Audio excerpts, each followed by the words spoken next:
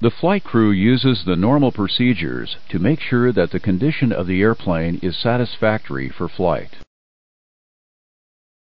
The procedures contain a group of tasks for each area of the flight deck that make sure the airplane is in the correct configuration for each phase of flight. The normal procedures are applicable when all systems operate correctly and when the airplane systems are fully used. The normal procedures decrease the crew workload.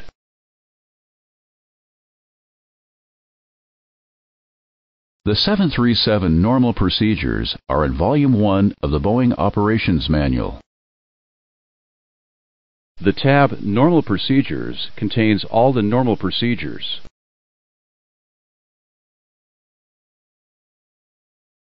From the exterior inspection to the secure procedure and flight patterns.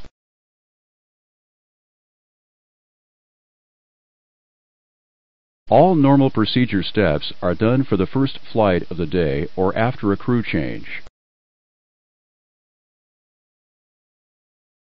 The tab Supplementary Procedures has the normal procedures that are not done regularly.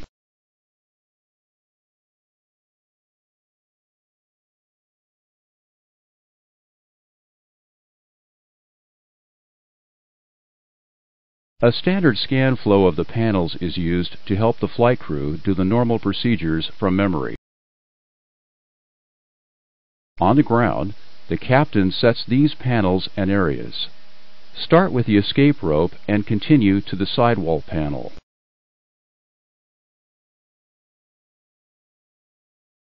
The forward overhead panel scan is from top to bottom, left to right. Next, scan the glare shield. The instrument panel is scanned next, followed by the center instrument panel. Finally, scan the forward electronic, control stand, and aft electronic panels. The first officer sets these panels and areas. Start with the escape rope and continue to the sidewall panel. The forward overhead panel scan is from top to bottom. The instrument panel is scanned next. Finally, scan the forward and aft electronic panels.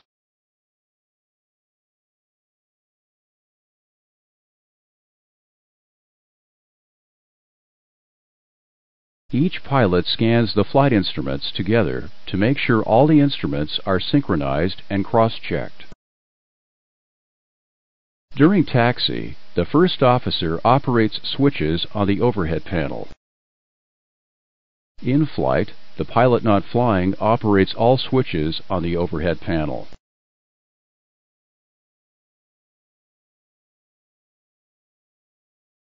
Normal checklists are organized by phase of flight. The normal checklists do not contain every step in the related procedure.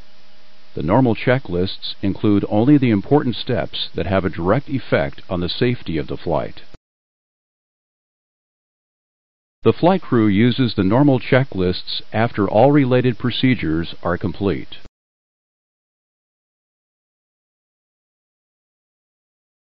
The checklists contain two steps for each line, a challenge and a response. On the captain's command, the first officer reads the challenges on the before start, after start, before takeoff, shutdown, and secure checklists. The captain makes sure the steps are complete, then responds to the challenge.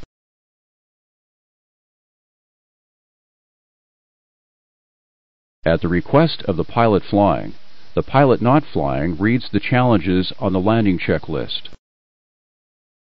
The pilot flying responds.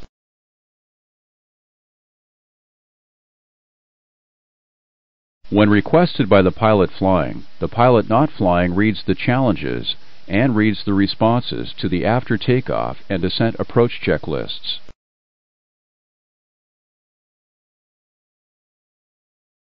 Remember, you must make sure the position of the control or the indication is correct before you respond to a checklist challenge.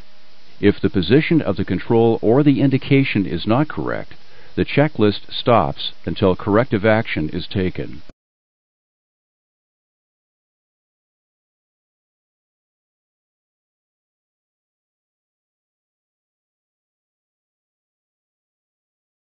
Procedures can be done up to items that cannot be completed at that time. If this occurs, the checklist must be stopped at that point until all necessary steps are completed. When a checklist is stopped, the pilot who reads the challenges says holding at and the name of the item. For example, holding at flaps.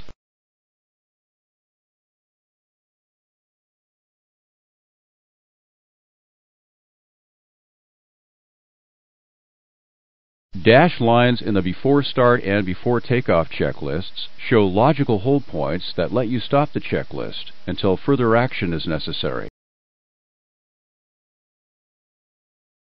For example, the captain calls for the before start checklist down to the line. The checklist continues up to the dashed line. The first officer then says, before start checklist complete down to the line. To continue the before start checklist after start clearance is received, the captain says, before start checklist below the line. The checklist is completed, then the first officer says, before start checklist complete.